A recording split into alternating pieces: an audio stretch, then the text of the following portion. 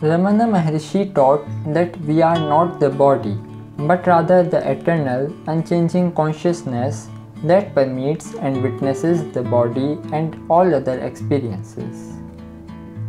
He provided several reasons to support this understanding. Transience of the body The body is subject to constant change and decay.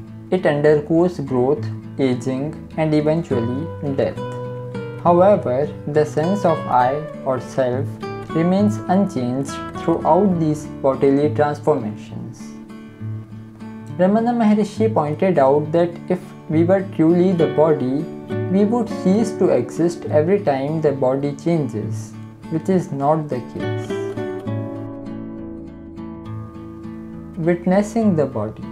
Ramana Maharshi emphasized the practice of self-inquiry, which involves turning one's attention inward and questioning the nature of the self. Through this inquiry, one can observe thoughts, emotions, sensations, and even the body itself. The fact that we can observe the body implies that there is a separate entity, the true self, that is distinct from the body. Dream state analogy. Ramana Maharshi often used the analogy of a dream to explain the illusory nature of the body. In dreams, we experience different bodies, situations, and identities. But upon waking up, we realize that they were all mere projections of the mind. Similarly, he suggested that the waking state is also a kind of dream and the identification with the body is part of that dream-like experience.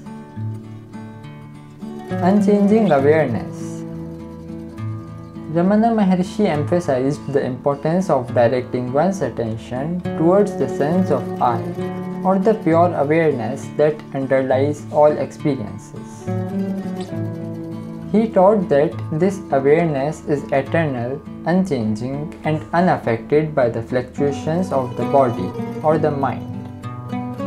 By recognizing and abiding in this unchanging awareness, one can realize their true nature as separate from the body.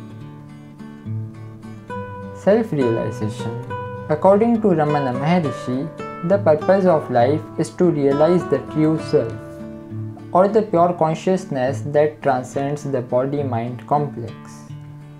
Through self inquiry and self abidance, one can directly experience their identity as the eternal consciousness and recognize that the body is merely an instrument through which experiences are perceived.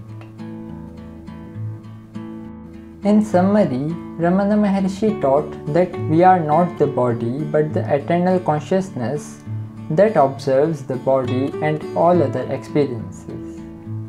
By turning inward and realizing our true nature through self inquiry, we can transcend the limitations of the body and abide in the unchanging awareness that lies beyond it.